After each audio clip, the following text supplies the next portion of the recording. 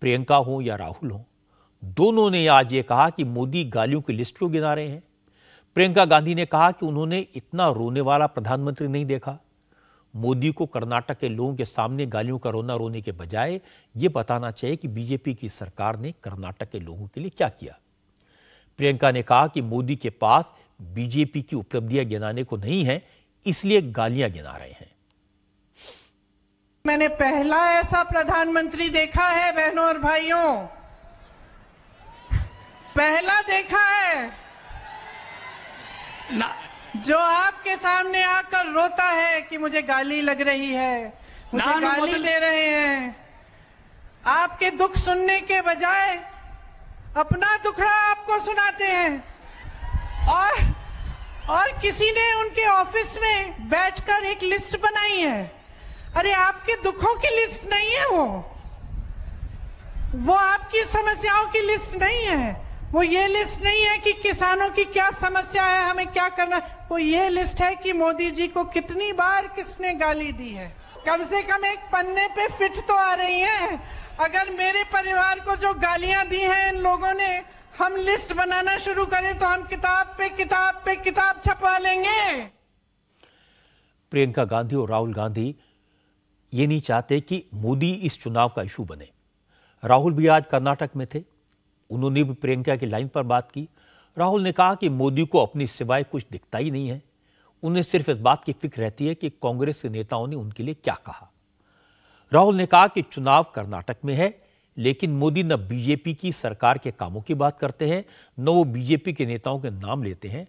यहाँ तक कि मोदी बसवराज बुम्बई और येदियुरप्पा का नाम भी अपने भाषणों में नहीं लेते, सिर्फ़ अपनी बात करते हैं। मेरा सवाल नरेंद्र मोदी जी से यह है कि पिछले तीन सालों में जब आपको मालूम था कि कर्नाटक में 40 परसेंट चोरी हो रही है तो आपने क्या किया? आप कर्नाटक के चुनाव में आते हो, कर्नाटक की बात नहीं करते हो, अपनी बात करते हो। आपको यह बताना चाहिए कि आपने पिछले तीन सालों में कर्नाटक में क्या करवाया? आपको यह भी कहना चाहिए कि अगले पाँच सालों में आप क्या करने वाले हो? ये चुनाव आपके बारे में नहीं है।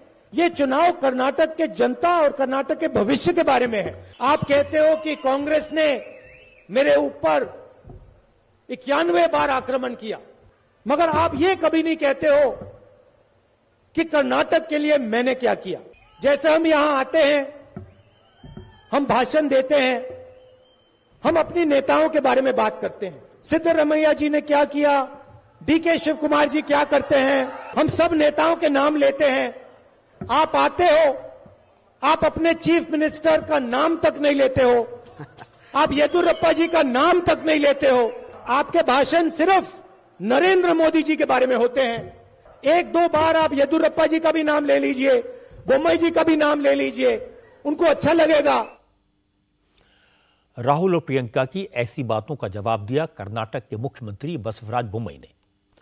बोम्मई ने कहा कि मोदी किसका नाम लेते हैं, किसका नहीं लेते, राहुल को इसकी फ़िक्र करने की कोई ज़रूरत नहीं है। राहुल और प्रियंका को अपनी पार्टी के नेताओं की ज़ुबान पर लगाम लगानी चाहिए, क्योंकि कर्नाटक की जनता गाली गलौच की भाषा को बर्दाश्त नहीं करती। अरे, प्राइम मिनिस्टर कभी भी नहीं रोए नहीं रोएँगे। अभी रोने का पिछले नौ साल से कांग्रेस ही कर रही है और इतना कर रही है कि उनके आँख में जो आँसू भी नहीं रहा, ना पीपल का सिंपत्ति भी उनके तरफ़ नहीं रहा। हालाँकि कांग्रेस के नेता उसी लाइन पर चल रहे हैं जो प्रियंका राहुल ने सेट करती है। जयराम रमेश ने कहा कि क्या प्रधानमंत्री के पास इतना टाइम है कि वो गालियों की लिस्ट तैयार करें? जयराम ने कहा कि मोदी ने भी सोनिया गांधी के लिए तमाम अपशब्दों का इस्तेमाल किया। अब उन्हें जवाब मिल रहा है तो बुरा नहीं लगना चाहिए। बिल्कुल क्राई पीएम है।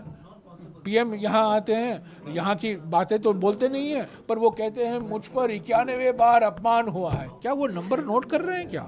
इक्यानवे बार अपमान हुआ है। उसका अच्छा कार्टून निकला है। उसका एक कार्टून, अमित शाह नड्डा साहब को बोल रहे हैं, जब ये इक्यानवे सौ पहुंचेगा तो हम उनकी बात एक महोत्सव बनाएँगे। प्रधानमंत्री ने सोनिया जी के बारे में क्या क्या नहीं कहा है? पिछले दस पंद्रह साल हम देखिए क्या क्या मैं दोहराना नहीं चाहता हूँ। क्या क्या नहीं कहा। प्रधानमंत्री, खुद प्रधानमंत्री ने सोनिया जी के बारे में क्या क्या नहीं कहा। और जो यत्नाल है, जो प्रधानमंत्री के चहीते दोस्त हैं कर्नाटक में, उन्होंने क्या कहा? पर मैं दोहराना नहीं चाहता हूँ, उसको खड़गे जी ने इसका स्पष्टीकरण भी दे दिया। सबसे इंटरेस्टिंग बात कही असम के चीफ मिनिस्टर हिमंता बिस्व शर्मा ने। हिमंता ने कहा, यही हाल रहा तो कर्नाटक में तो छोड़िए। देश में अगले सौ साल तक कांग्रेस की सरकार नहीं आएगी। हिम्मता ने कहा कि खरगे ने सही कहा है, मोदी भगवान शिव के गले में पड़े वो सांप हैं जो कांग्रेस के भ्रष्ट नेताओं को डस रहे हैं। इसीलिए कांग्रेस के नेताओं को मोदी जहरीले सांप नज़र आते हैं। कांग्रेस के लिए तो मोदी जी सांप है ही। Because Rajiv Gandhi says that I send hundred rupees village get 10 rupees. So who eat 90 rupees? That only Congress people. So today Modi ji is biting every Congress people because they have done injustice to the people of India. So Modi ji is friend, philosopher, saver, guide for every Indian. But for Congress people, he is a snacks. Mahadev, Shivji have the snacks, na? We Nagraja is our God. So, God always bite the sinners. That is the Congress party. BJP के ज़्यादातर नेताओं ने कांग्रेस की गालियों का जवाब संभल कर दिया शालीन भाषा में दिया लेकिन बसंत गौड़ा पाटिल कांग्रेस की गालियों से इतने नाराज़ हो गए बसवराज ने कांग्रेस की गाली का जवाब गाली से दिया उन्होंने कहा कि मोदी को नालायक कहने वाले खुद नालायक हैं करगे जी और प्रियंका करगे जी ने कर्नाटक में कांग्रेस पार्टी को पूर्ण पूर्ण साफ़ करने का इरादा है। इसलिए ऐसा जो एक देश का प्रधानमंत्री के बारे में ऐसा बयान दे रहे हैं ना, इससे कांग्रेस कर्नाटक में सफ़ाई हो जाएगा। जो गांधी फैमिली है, जो सोनिया गांधी फैमिली है, वो नालायक फैमिली है। देश के लिए वो खतरा है। देश के लिए वो एक भ्रष्ट फैमिली है। इसलिए प्रधानमंत्री मोदी जी इस देश के लिए पूरे उनका ज़िंदगी देश के लिए उन्होंने सेवा के लिए दिया है। प्रधानमंत्री के बारे में ऐसा शब्द कहने से खरगे जी का और प्रियंका खरगे जी का ही बहुत बुरा हाल हो जाएगा। प्रियंका और राहुल भी जानते हैं कि मोदी को गाली देना कांग्रेस को कितना महँगा पड़ता है।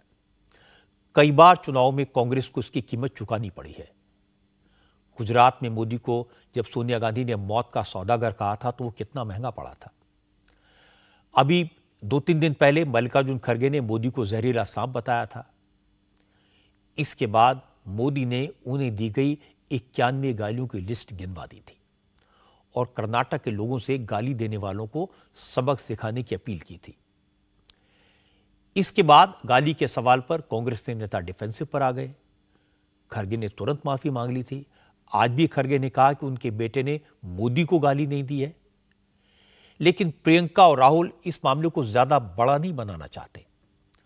कांग्रेस की कोशिश है कि कर्नाटक के चुनाव को लोकल इश्यूज़ पर, लोकल लीडर्स के नाम पर लड़ा जाए।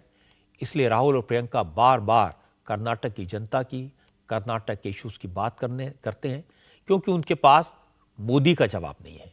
उनके पास ऐसा कोई बड़ा लीडर नहीं है जो मोदी का मुकाबला कर सके। और वो जानते हैं कि चुनाव अगर मोदी के नाम पर लड़ा गया तो मुसीबत हो जाएगी। इंडिया टीवी हर वक्त, हर जगह। डाउनलोड करने के लिए सर्च करें India TV news, Google Play Store या एप स्टोर पर।